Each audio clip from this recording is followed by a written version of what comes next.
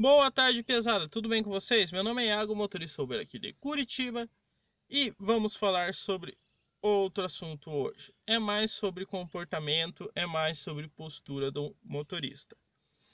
Beleza?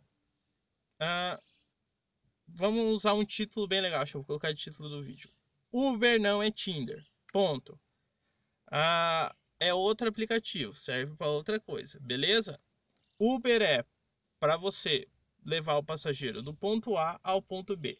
Beleza? Aquela menininha bonitinha que tá lá saindo da casa dela para ir em qualquer lugar, na faculdade, na academia, na balada, ela pediu um carro para ir do ponto A ao ponto B. Ela não pediu para que o motorista ficasse dando em cima, dando indireta, pedindo telefone, dando cantada. Bicho, tenha postura. Esse aqui é o teu trabalho. Isso aqui é o que leva o teu ganha-pão para casa.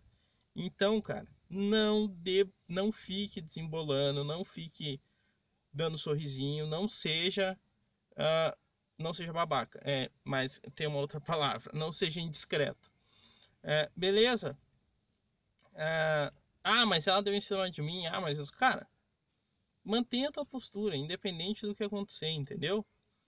Hum, eu acho que você tomar um reporte aí por assédio é uma coisa bem grave aí e depois para você conseguir comprovar o que foi, o que não foi, por via das dúvidas, cara, não não dê em cima de passageira, seja profissional, faça o seu melhor, beleza? Eu faço isso. Nesses meses nunca tive problema, beleza?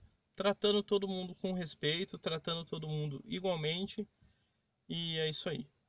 Dê a opinião de vocês, relatem casos, acontecem algumas coisas, mas isso é o que eu acho, entendeu? Não que eu seja o dono da verdade. Beleza, pesada? Tudo de bom pra vocês.